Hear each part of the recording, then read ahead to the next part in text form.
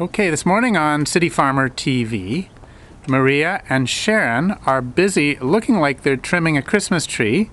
But what this is, is our bay tree for bay leaves, for spaghetti, and what else do we use bay leaves on? soups, Soups? stews, Stews, uh, yeah. dressing, uh, All sorts of things you might use bay leaves, and it's very prolific.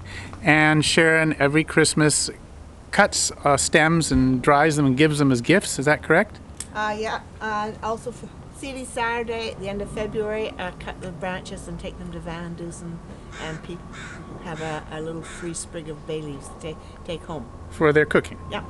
But Maria today spotted something that's a make work project. What's happening here? Um, well, I kind of been walking by and I sort of noticed that there are little tiny scales that are on some of the leaves and big juicy fat scales, which means they're probably going to be laying some eggs soon and those eggs are going to hatch and crawlers are going to crawl all over the plant. And unfortunately um, in you know in small numbers it's not so bad but we're deciding the plant's gotten pretty huge.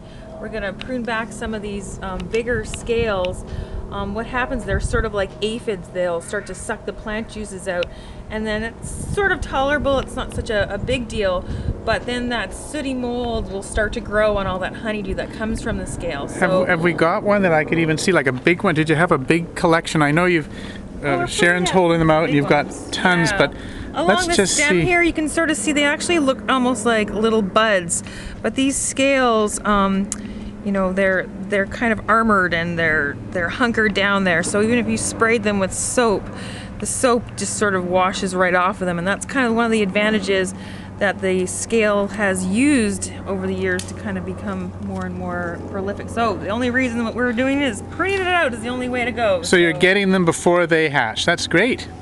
Thank you so much, Maria and Sharon. Take care.